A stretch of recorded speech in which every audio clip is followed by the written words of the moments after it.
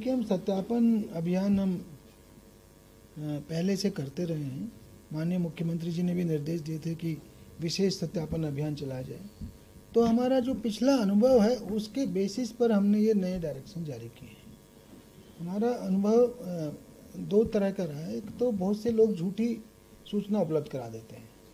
तो इसलिए अब हमने कहा कि अब आप जो सूचना देंगे तो ऑन ओथ देंगे, यानी एफिडेविट में देंगे। अगर हमें झूठा एफिडेविट देंगे तो मुकदमा दर्ज कर देंगे। ठीक है। दूसरा जो है, बहुत से स्टेट्स ऐसे थे जहाँ हम भेजते थे वेरिफिकेशन का, किंतु वहाँ से रिपोर्ट बैक नहीं आती।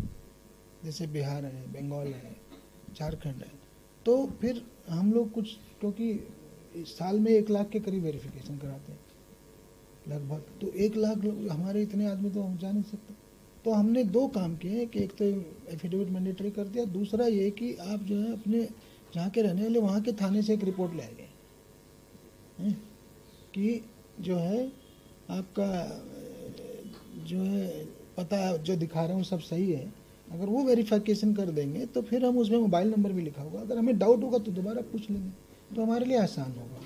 और साथ ही साथ सत्यापन भी सही से हो जाएगा। तो हमने पुलिस एक्ट में दिए गए प्राविधानों का सहारा लेकर के ये नए रूल्स और बनाए हैं।